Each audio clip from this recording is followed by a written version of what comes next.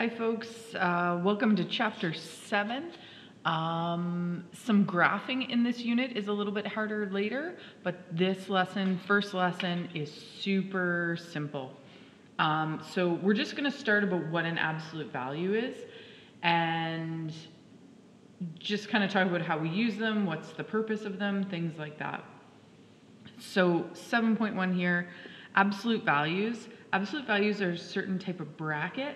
They, um, they are an actual bracket, and we treat them when we're doing order of operations like a bracket, but they also have another purpose.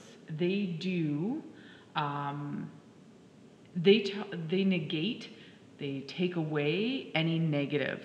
So if I'm trying to find the absolute value of x, I know that the answers to this can only be positive numbers. The way I talk about it is an absolute value is always a distance away from zero. So just like vectors have direction, um, velocity has direction, and speed does not. This is more like a speed. We take away direction. We know that if it's a negative answer, that it would be left of the zero. If it's a positive answer, it'd be right at the zero. So when we look at absolute values, really what we're looking for, I'm trying to find a highlighter, is the distance away from zero. And we're not concerned about the direction of it. Um, I'm just trying to see if I've got absolute brackets on my calculator. And I don't think I do. So you have to be smart enough to know what an absolute value bracket does. Um, because lots of calculators won't have them. Just looking, complex, real. Nope, don't have them. Okay, so we got to be smarter than our calculators because our calculators aren't going to be super helpful here. So if we're looking at 6, usually, usually, if we're going to positive 6, this is really hard to see. It's kind of photocopied. Really not so great. I'm to zoom in the best I can. So if we're looking from 0 to 6 in the positive direction, we know that's a distance of 6. Great. But if we're looking in the negative direction and we're talking about it in the terms of absolute values, we know that we're 8 units away from 0. Doesn't matter what direction it is. So the distance away from 0, it's 8 units. Now, we could say 8 units to the left. All of a sudden, we've put a direction on it absolute values get rid of direction. So if we were to, um, if we were to figure out uh, what was in the absolute brackets, like we were supposed to be, put an X in here, uh, the absolute value of positive 5 is positive 5. The absolute value of negative 5 is positive 5. So if we had something like this, just so you kind of get the idea. And I said it's similar to square roots because if we take the square root of 4, um, our answers, the positive principal root always comes out to 2. This is what our calculator tells us. We have to be smart enough to know that the square root of 4 can also be negative 2, right? So our calculator doesn't show us this one because conversely, negative 2 times negative 2 will bring us, oh, sorry, you guys can't see that. Negative 2 times negative 2 brings us back to the positive 4. That's why it works as an answer. So same sort of thing with absolute value brackets. If I say, hey, that's equal to 5, um, we're like, oh, well, then that has to be 5 in here, right? Easy peasy. But this could have two answers. It could be positive 5 or it could be negative 5. So you have to be smart enough to know that. We'll get into solving absolute value equations a little bit later. Um, so right now I'm kind of going in depth and I'm going, you don't need to go this far, I guess, is my what I'm trying to say here. All right. So all we're going to do is we're going to play with some absolute value brackets. Got to be careful. Just pay attention here. If we look at that negative 2, that negative 2 is not in any brackets. That bracket belongs to the 3.5 and that bracket belongs to the negative 5.75. Okay, so let's dive in. And the easiest thing to do is evaluate all the absolutes. So the absolute value of 3.5 is 3.5. Negative 2 is going to stay negative 2 because there's nothing, there's no absolute value brackets around it. There's nothing that we're doing there. The absolute value of negative 5.75 is going to be positive 5.75. All we're moving, all we're doing is moving the, removing the direction. And again, this one, pay attention. This is an easy one, like if you're rushing through it. Um, this is going to be 1.05. This one here. I'm going to convert this to a decimal just so it helps our brain. Um, doo -doo -doo, 13 by 4. So I know that the absolute value bracket is going to take that negative away. It's going to just remove it and I don't have to worry about it. I just did the division there and that's 3.2. So the absolute value of negative 13 over 4 is 3.25. If I evaluate this one, the negative goes away, it's 0.5. This one has, oops, sorry, this one has no brackets around it, so it stays as a negative 1.25. And this one here, again, the absolute values are going to negate. It's going to take away the negative. So it's going to be, oh, sorry, I said it's going to take away the negative, then I wrote it. Uh, 0.3 repeating. All right, so ascending order. So that means you start from your smallest and you get bigger. All right, since none of you are here in the room with me to talk to me about this, um, and when we're putting them back in order, what we have to use is their original format. You'll be deducted half a mark if you use the evaluated, edited, format, transformed, whatever you want to call it. You got to go back to the original form. Okay, so I'm going to start in ascending order. Hopefully I get this right because you guys aren't here to help me. So negative 2 happened first. So that one's gone. And then negative 1.25 comes next, so that one's gone. Sorry, I'm going to cross these off here. I'm all by myself. Uh, 0.5 is our next one, but I have to put it in absolute value brackets. Okay, and I'm writing too big. I'm going to run off the page. So that one's gone, and then I have 1.05. That one's gone. And then who's next? Who's next? 3.25. But again, I gotta go back to the original format. So absolute value bracket, negative 13 over 4. And I want your brackets to be significant. They should come above and below that number because um, sometimes they look like the number ones. And that's no fault of ours, but sometimes they just do. And then we have the negative 3 and 1 third in absolute value brackets. That was a little aggressive with the brackets. And then I have 3.5 in absolute value brackets. Sorry guys, I'm rolling off the page here. I haven't done this very well, but hopefully you're keeping up. And my last one is absolute of negative 5.75. Okay, so that's really, like, this lesson isn't hard. It's not going to take you a ton of time. Um, it's, it's just a little different. We haven't really worked with absolute values. Mr. Froggy down here says, so absolute values gives a positive answer. And Mr. Froggy is right.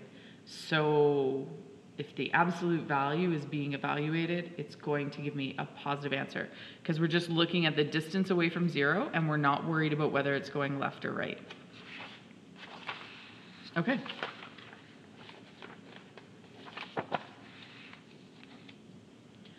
Um, so now we're just doing kind of order of operations um, with our absolute value brackets. And like I said, they are brackets. We treat them like brackets. So what we know right here is that the three is multiplied by the difference of what's happening in there. So they're just treated like every other bracket. They just do something extra. So order of operations says I got to tackle my brackets first. So I'm going to have 5 minus 3, absolute value of negative 5. Now, here's, so now the question is, is do I evaluate my, does the three get multiplied in or do I evaluate this, this uh, absolute first? Evaluate your absolute first because there's one more thing to do with the brackets, right? One more thing to do inside the brackets. So we're gonna evaluate that. Um, so we know that um, negative 5 is going to evaluate to positive 5. So when I actually conduct what happens in the absolute value brackets, that's going to change it to 5. I know that the 3 and what happens inside the brackets are multiplied, so I'm replacing the absolute brackets with round brackets, and I'm changing my negative 5 to a positive 5. So I'm going to have 5 minus 15, so my answer is negative 10. So that just, it, it feels a little bit different. I think this is where people get caught up. They're not sure what to do first here. Um, and this is what I would always do. I'd evaluate it and change the type of brackets that you're working with. Um, that helps my brain to see it a little bit better. Okay, so now we're coming over to part B. Sorry, if you didn't grab that, just pause the video. Now we're coming over to part B. So everything is inside the brackets. So order of operations says I do what's inside the brackets first. Great, doing that. And then it says I deal with the exponents first. Um, I could multiply and deal with the exponents at the same time, which I think I'm going to do. So negative 36 plus 25, still in absolute brackets because I haven't evaluated the absolute yet. I'm not done working inside the bracket. So that's going to give me hopefully negative 11. If I did that all right. And now I'm going to evaluate the absolute, just like you executing a square root. Um, if I say the square root of 4, if I, so if I say do that, do the square root of 4, you know you're going to get an answer of 2. So you've performed the root. You have to perform the absolute here. So that's going to evaluate to 11. I don't need to put round brackets around it because there's no more math that's going with it, but you wouldn't be wrong if you threw some brackets around it. There's nothing wrong with that.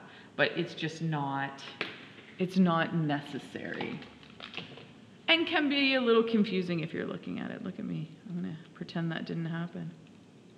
Oh. Silly boy. of looking. Mm, it kind of looks like 11. Okay, there we go. All right. Uh, so you're going to have a couple of word problems in your assignment. And I would encourage you to make sure you read them thoroughly. Okay, Kelly works in a hospital. One day she takes the elevator from the first floor up to the sixth floor. Okay, so I am on floor one. This is me. And I'm going to take the elevator to the sixth floor. We know that the sixth floor is up, hopefully. So how many floors did I go up? This is always the question. So one, two, three, four, five. All right. So what we're going to do is we're looking at what's the total change of floors that Kelly has done in that day. So what we're going to create is an absolute value statement. All we're looking at, we're going to remove things. We're not looking where I end. We're not looking where I have a net displacement of zero. What we're looking at is how much did I move that day. So I went up five. So it's a positive five because I go up but I don't care about directions. So I'm going to put absolute values brackets around it. Because I would still get the same, I traveled five floors if I had gone from the sixth to the first floor. Okay. Uh, then she has to go to the second floor to work in the gift shop for an hour. Okay, so I was on the sixth floor. I was here, and now I got to go down to the second floor. So one, two, three, four. So I went down four. I don't care if it's up or down though, but really, down in math is a negative. But I don't care about directions, so I'm going to ignore the negative by using absolute brackets. All right, after lunch, Kelly goes, I'm trying to find a different color pen. Uh, Kelly go, I got purple, but that's not gonna cut the mustard. Um, I don't know if you'll be able to see this. Um, after lunch, Kelly goes to the fourth floor to visit patients. Okay, so I'm on the second floor, and then I gotta go one, two to the fourth floor. You can kind of see that. So I went up again.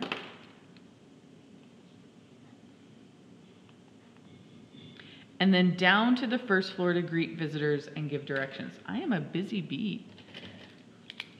So I'm on the fourth and I gotta go down one, two, three to get to the first floor again. So I'm going down three. And again, I don't really care about the down part of it. I'm just caring about how much I've moved that day. So we're gonna evaluate, we're gonna execute, we're gonna complete the absolute values. So I'm gonna have five plus four plus two plus three. Because all I'm doing is I'm negating, I'm evaluating what the absolute of five is, it's five. The absolute of negative four is positive four. So that's all I'm doing there. And if I've done this right, I have traveled 14 floors.